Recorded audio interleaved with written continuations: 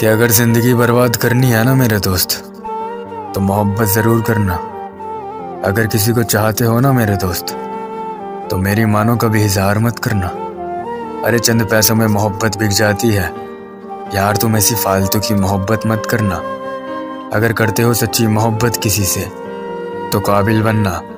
क्योंकि यहाँ दिल जज्बात नहीं, शान शौकत देखी जाती है। सच्ची मोहब्बत तो यारो आजकल। ब्लॉक लिस्ट में बंद रह जाती है।